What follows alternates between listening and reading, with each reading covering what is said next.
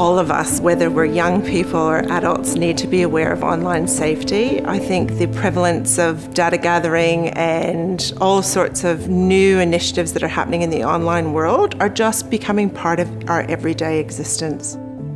Online safety is really important as we move into the future. The um, bombardment, I guess, for students and people as we move forward is going to continue. Um, it's important for students to understand that they are actually targeted online, positively and negatively. So we've actually had instances of students um, at home on these online chat rooms and they think they're talking to peers of similar age and they've actually been talking to adults. So um, we've actually provided our parents the, the, the, tools to actually monitor and block these chat rooms um, through the use of Linewize. Linewize forms um, one really important aspect of our online safety program at Coomera Anglican College. It allows us to have a sense of confidence and comfort that our students are engaging with materials that are appropriate to their age and stage of development. A typical scenario with uh, using the Linewize platform is we've had, say, junior secondary students and them sort of trying to get to inappropriate websites.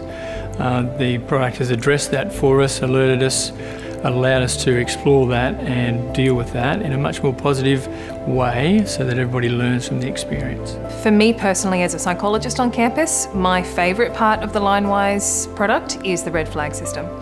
So the red flag system allows us to track students in real time who might be struggling and might go looking up something of concern. And in those cases, sometimes it's really helpful to get those red flags straight away because if I see a name and I, I know that's a student who's already on my radar, I can respond straight away and pull them in and make sure that they're okay. And if it's a student that I am already familiar with, it means that our reaction and our intervention can be very swift and we can work really quickly to provide a wellbeing support um, plan around that student.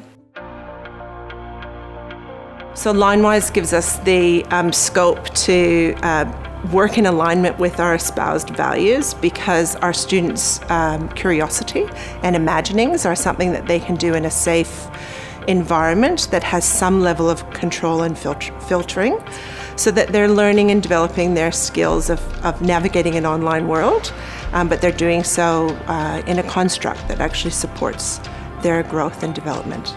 We want our young people to know that they have the capability, they have the character, and that they have the ability to go on into the world and shape a future that's yet to be imagined.